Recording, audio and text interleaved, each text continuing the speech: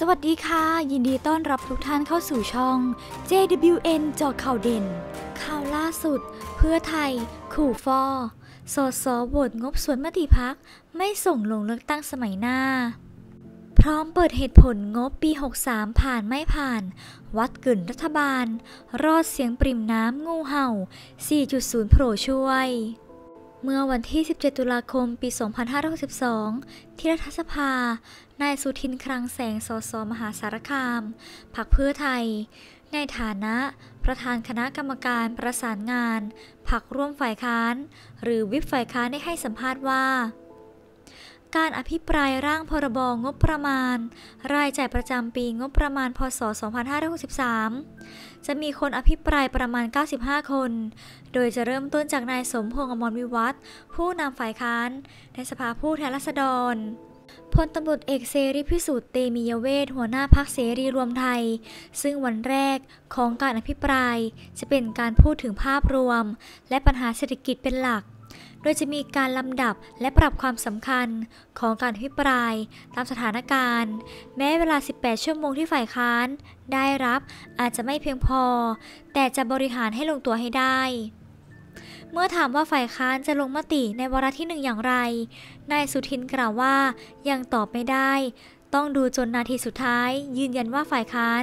ไม่ต้องการล้มรัฐบาล และเราจะไม่เอางบประมาณมาเป็นเกมการเมือง เพราะเมื่องบประมาณไม่ผ่าน ไม่ได้กระทบเฉพาะรัฐบาลเท่านั้น แต่จะกระทบต่อประชาชนเป็นวงกว้าง ทางนี้คิดว่าการอภิปรายตลอด 3 วันจะไม่มีความรุนแรงอะไร แต่รัฐบาลต้องเปิดใจกว้าง แสดงท่าที และไมตรี จะนำสิ่งที่ฝ่ายค้านเสนอแนะ ไปปรับปรุงในวาระที่สองซึ่งเราก็พร้อมที่จะให้โอกาส แต่ถ้าดูแล้วไม่มีท่าทีตอบรับ ก็อย่ามาโทษฝ่ายค้าน เพราะต้องยอมรับว่า งบประมาณมีข้อบกพร่องมาก แทบจะทุกหน่วยงาน โดยเฉพาะ งบประมาณแก้ไขปัญหาเศรษฐกิจที่มีน้อย ไม่เหมาะสมกับสถานการณ์ ขณะที่บางงบประมาณอย่างงบกลางก็ไปกองให้สูงขึ้น ซึ่งปกติจะจัดสรรงบกลางไว้ไม่เกิน 10%ทำให้มากผิดปกติ นายสุทินกล่าวต่อว่าเชื่อว่าการลงมติของเจ็ดพักร่วมฝ่ายค้าน น่าจะเป็นไปในทิศทางเดียวกัน ในส่วนของสสพักเพื่อไทย ไม่ได้มีการฆ่าโทษ สังคมจะเป็นคนตัดสิน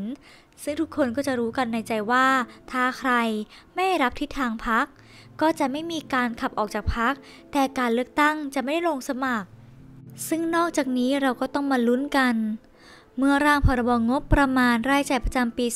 2563 วงเงิน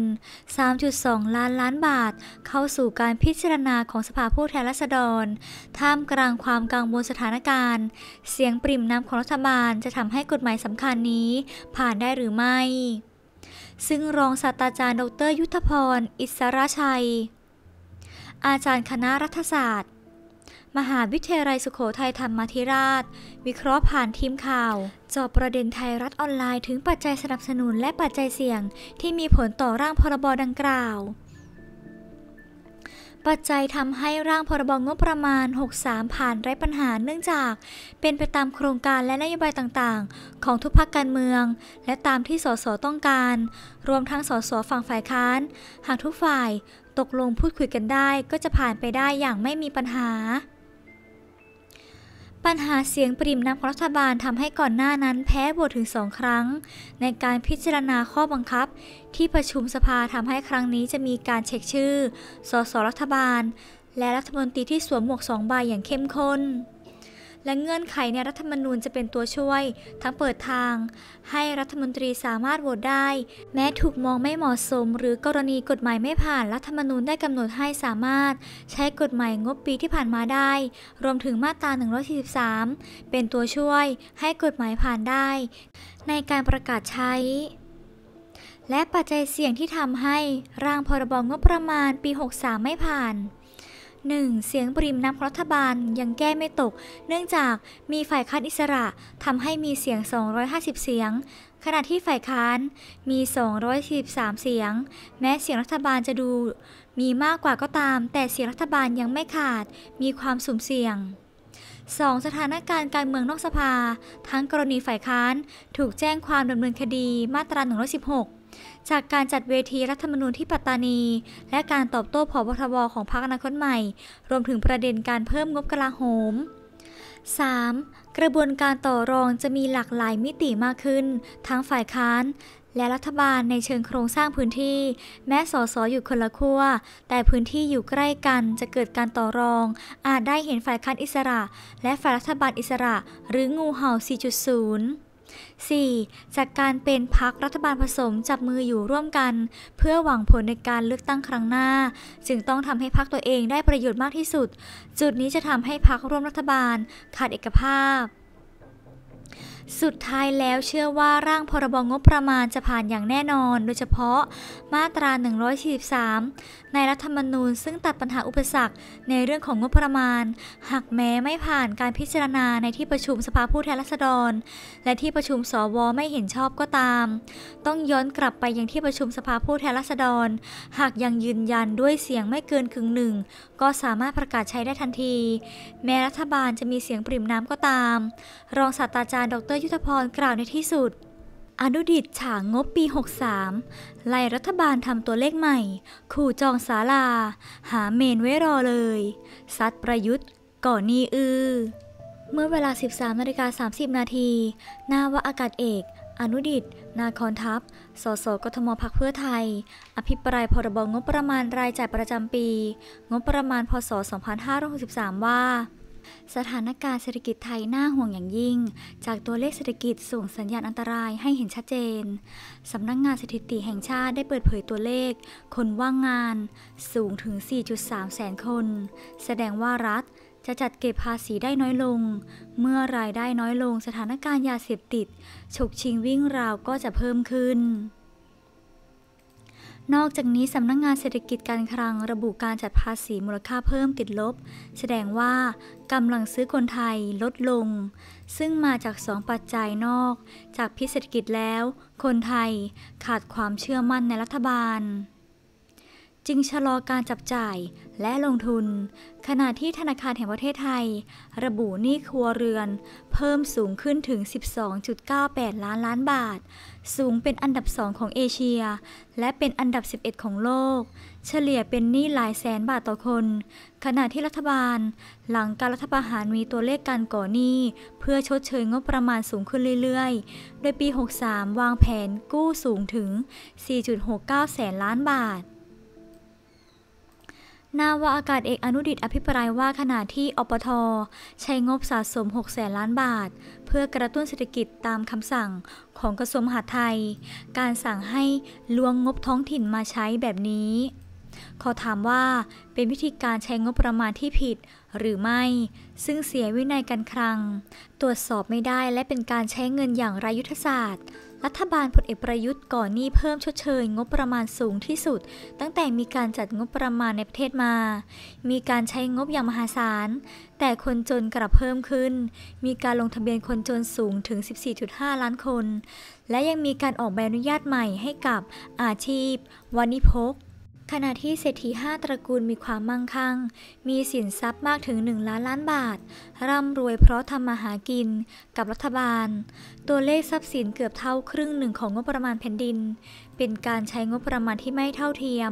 ผลเอกประยุทธ์ทำให้เราได้แชมป์ความเหลื่อมล้ำ ระหว่างคนรวยกับคนจน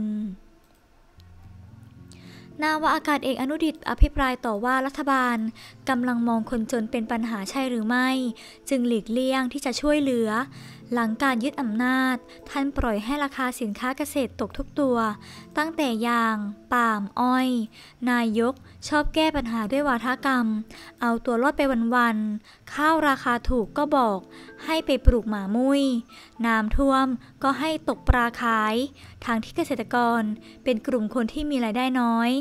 ส่วนร้านค้าตอนนี้เปลี่ยนชื่อเป็นร้าน เซ้งเหมือนกันหมดแล้ว วันนี้รัฐบาลกำลังใช้เงินผิดประเภทเอาเงินที่มีไปติดอาวุธให้กองทัพ ขณะที่คนไทยกำลังลำบาก นอกจากไม่เกิดรายได้ ยังต้องเสียเงินไปกับค่าซ่อมบำรุงจนกว่า จะหมดอายุการใช้เงิน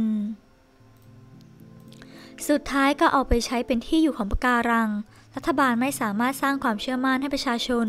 เพราะขาดความรู้ นายกไม่ชอบพูดความจริง ชอบโกหก ช่วงหาเสียงประกาศนโยบายอย่างหนึ่ง เลือกตั้งเสร็จก็ทำไม่ได้ ส่วนตัวเลขการท่องเที่ยวไตรมาสแรกก็ลดลง นักท่องเที่ยวจีนเข้ามาเที่ยวเพียง 3.12 ล้านคนถือว่าลดลง คาดว่าไตรมาสที่เหลือก็จะลดลงทั้งหมด แสดงให้เห็นถึงหายนะที่กำลังจะมานาวาอากาศเอกอนุดิตอภิปรายว่ารัฐบาลจำเป็นต้องออกมาตรการกระตุ้นเศรษฐกิจ คือการกระตุ้นการบริโภคภายในประเทศ ซึ่งเป็นเครื่องยนต์ตัวสุดท้ายที่เหลืออยู่ แต่วิธีกระตุ้นจนถึง ทุกวันนี้กลับเป็นปัญหาเช่น นโยบายแจกเงิน ผ่านบัตรต่างๆ ตนไม่เห็นด้วย เป็นมาตรการที่ล้มเหลว นักเศรษฐศาสตร์ทั่วโลกมองว่า เป็นมาตรการสิ้นคิดทำคนเสียวินัยการเงิน ข่าวร้ายคือ เมื่อผู้ประกอบการและประชาชน ไม่เชื่อมารัฐบาล ต่อให้ถมเงินลงไปเท่าไหร่ ก็ยิ่งเปลืองเงินภาษีของพวกเรา การแจกเงินตลอด 5 ปี เก็บภาษีได้ต่ำกว่าประมาณการ มีแต่คนจนลง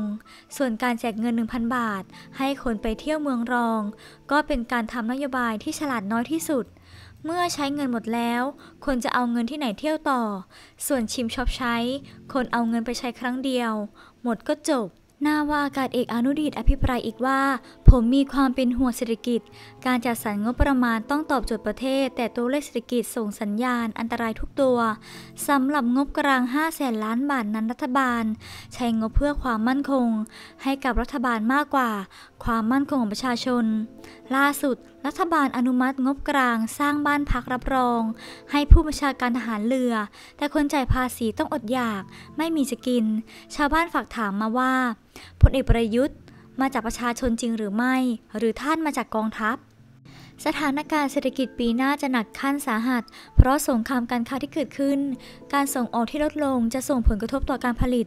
ลามไปถึงการเลิกจ้างกำลังซื้อในประเทศหดตัว ภาคบริการก็จะซบเซา ค่าเงินบาทที่แข็งขึ้น ส่งผลกระทบต่อภาคการส่งออกและภาคการท่องเที่ยว ที่นายกคุยว่าเศรษฐกิจดีโดยดูจากทุนสำรองระหว่างประเทศนั้น นั่นไม่ใช่เงินของรัฐบาล ไม่สามารถนำมาใช้อ้าง เพื่อการแสดงความมั่งคั่งของรัฐบาลได้ สรุปแล้วคือรัฐบาล จัดสรรเม็ดเงินอย่างสิ้นหวัง พรบงบประมาณฉบับนี้มาทางไหน กลับไปทางนั้น ขอให้กลับไปจัดสรรใหม่ให้สอดคล้องกับสภาพเศรษฐกิจ ลดรายจ่าย ชะลอการใช้งบในโครงการที่ไม่ก่อให้เกิดรายได้ ถ้าผิดไปจากนี้ จองศาลาไว้ สวดจองเมนเอาไว้เลยนาวาอากาศเอกอนุดิตอภิปรายขอขอบคุณข้อมูลเนื้อหาข่าวจากเว็บไซต์ข่าวสดแนวหน้า มติชน และไทยรัฐ ขอขอบคุณทุกท่านที่เข้ามารับชม สวัสดีค่ะ